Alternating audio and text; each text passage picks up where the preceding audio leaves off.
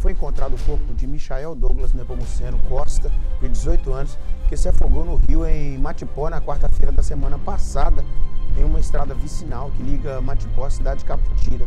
De acordo com as informações, o rapaz perdeu o controle da moto ao trafegar sobre uma ponte de madeira, que apareceu na imagem ali a ponte, né? Ponte de madeira sem proteção lateral.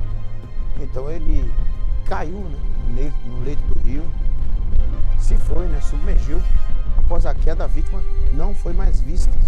Após a, foi mais vista, né? Após as buscas, a vítima foi encontrada a 50 metros no último ponto em que foi vista pelos familiares, né?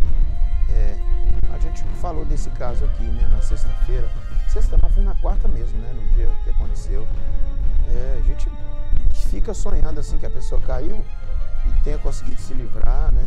Nadando e chegou num ponto da margem do rio, tá com debilitação, fica sonhando isso, mas não foi o que aconteceu, né? Infelizmente, é encontrada já sem vida, né? Que tristeza. E que perigo que tá aquela ponte ali, né, Jarão? É, quer apostar que agora, porque aconteceu isso, alguém vai lá fazer uma intervenção na ponte? Quer apostar que alguém vai lá fazer uma intervenção na ponte agora? Mas é, é mas é, eu vou te contar um negócio. E tá, tá vendo a placa lá? 10 toneladas. É uma ponte que suporta um peso de 10 toneladas e dessa forma, ela é dessa forma aí, ó.